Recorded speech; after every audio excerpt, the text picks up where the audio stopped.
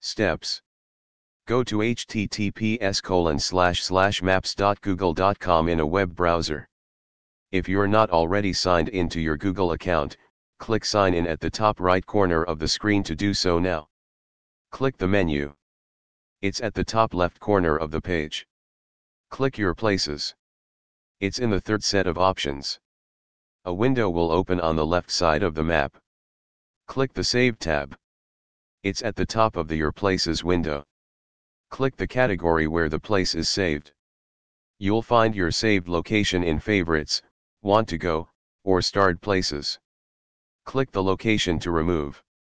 Maps will zoom in and display related information. Click the saved flag icon. It's under the name of the location. A list of categories will expand the category where the location is saved has a blue and white check mark. Remove the check mark from the category. This removes the location from your saved places.